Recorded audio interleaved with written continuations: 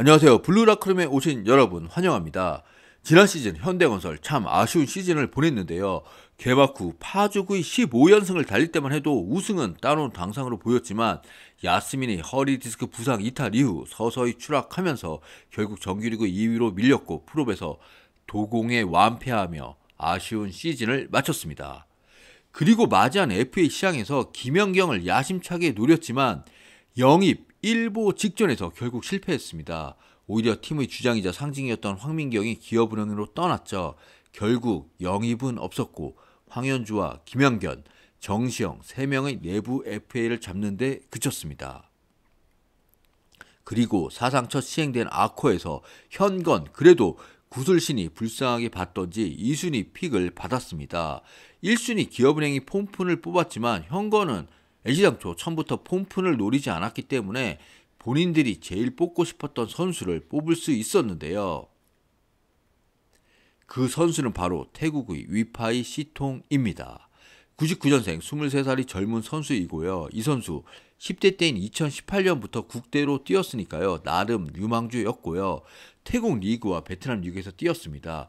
특이한 거는 이 선수 지난 시즌에 태국 리그에서 베스트 아포지상을 받았고요. 컵 대회에서는 또 베스트 아웃사이드 히터상을 받았습니다. 아포짓과 아웃사이드 히터 자리를 모두 볼 수 있다는 거죠.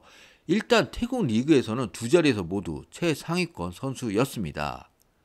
다만 태국 국대에서는 올해 들어 탈락했는데요. 그 전에 태국 대표팀에서 아웃사이드 히터 백업 자리를 맡았고요. 태국의 레프트 주전 두 자리는 너무 유명하죠. 튀르키예 리그에서 뛰고 있는 아차라폰과 찻추온이니까요. 위파위 경기 영상을 보면 일단 신장은 작습니다. 프로필상으로 174cm 있죠.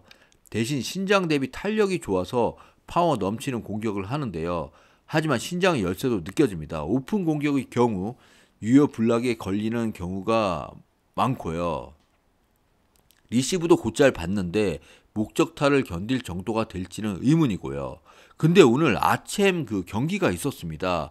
이 경기 보신 분들은 느끼셨겠지만 위파위가 어, 생각했던 것보다 훨씬 더 괜찮았습니다. 공격은 센스 있는 장면도 많았고 탄력이 좋아서 파워 있는 득점을 해줬고요. 공격 스킬도 다양했고 우려했던 리시브도 나름 괜찮았습니다. 네, 강성형 감독은 위파위를 아웃사이드 히터로 쓸 예정이고요. 바로 황민경의 대체자죠. 여기에 현건은 고혜림도 이번에 무릎 수술을 받아 시즌 개막과 함께 복귀할 수 있을지 의문입니다. 그렇다면 그동안 현건을 지탱해준 황고 라인이 드디어 붕괴된 건데요. 그렇다면 고혜림이 복귀하기까지 현건의 아웃사이드 히터 두 자리는 일단 현건의 미래라 할 수 있는 정지윤이 한 자리 맡아야 할 것이고요. 그리고 남은 한 자리 위파위가 있습니다. 기업은행에서 이제 황민경 보상으로 김주향이나 육서영을 데려올 가능성도 있죠. 이렇게 보면 뎁스가 그렇게 좋아 보이진 않고요. 결국 위파위의 활약이 상당히 중요할 것으로 보입니다. 특히 위파위 활약에 더 관심이 가는 것은 아쿼 드래프트 이후 아시아 쿼터제에 대한 찬반 논란 때문인데요. 아시아 쿼터로 국내 선수들이 입지가 줄어든다는 것이 아커 반대론자들의 이유입니다.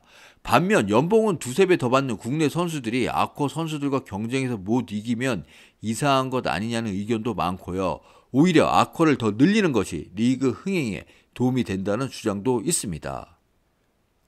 네, 어쨌든 위파이와 황민경은 비교가 안 될 수가 없습니다.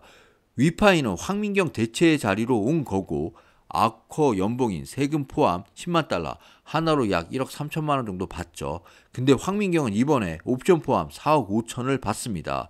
1억 3천짜리 아시아 쿼터 선수와 4억 5천짜리 국내 선수 당연히 효율을 비교할 거고요. 많은 말들이 나올 것입니다.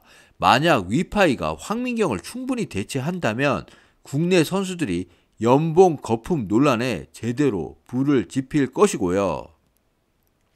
이래저래 정말 다음 시즌 위파위가 어느 정도 활약을 펼칠지 기대가 됩니다. 여러분은 위파위가 현건 우승의 우승 도전이 한 축이 될 수 있고 황민경을 충분히 대체할 수 있다고 보시나요? 지금까지 시청해 주셔서 대단히 감사합니다. 블루 라커룸이었습니다.